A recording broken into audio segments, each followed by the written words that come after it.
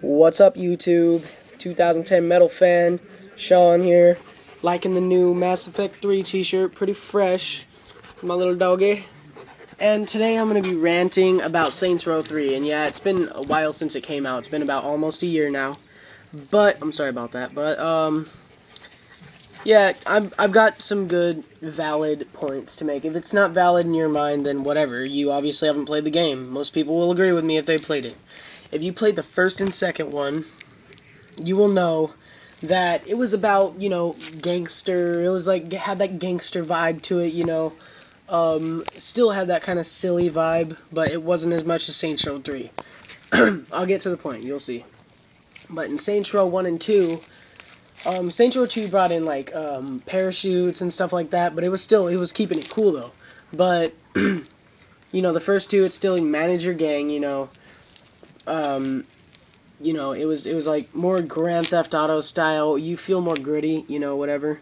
You know what I'm talking about if you played all of them. But then Saints Row 3 came out. I got it like on the first day almost. No, the second day, November 12th, I believe. Yeah.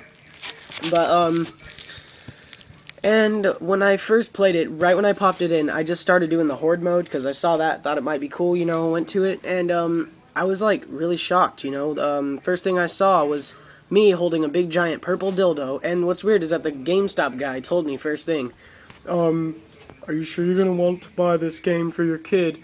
Because, um, you know, I might just want to write it down. There, you can use a purple sex toy to beat up people. And my mom's like, get it. Or no, she was actually trying to say no, but at the first, um, I was like, just get it, come on. You buy any game for me, right? And then, um, I played it, and it's so wacky and so unrealistic. And I know Saints Row isn't going for realism, but they are totally childish now. It just ruined the series for me. Um, this game has ruined 1 and 2 for me. Well, actually, I still like playing the first and second one, but still that thought in my head, you know, that Volition would do this to the series. They don't give a fuck about the game, obviously.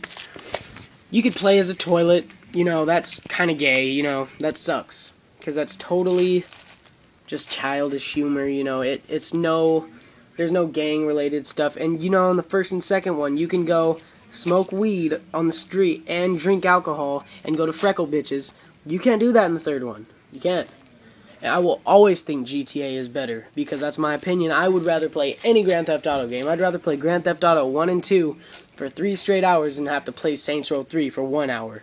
You know, it's just, you know, you could play as a sex doll, you could play as fucking a toilet, I already said, but I don't like how the missions they make no sense, you know. The last one you're on Mars. Spoiler alert. Sorry, I said it before, but whatever, you're gonna have to deal with it. Fuck the game anyway. And um, you're in this like Tron world where it's all grid, you know, and all techno uh, electric and stuff like that, you know. But yeah, it's just they've totally gone and just said, "You know what? Fuck it. Let's just give the people that have no sense of reality whatsoever something that they'll jizz in their pants for. And that's exactly what they did.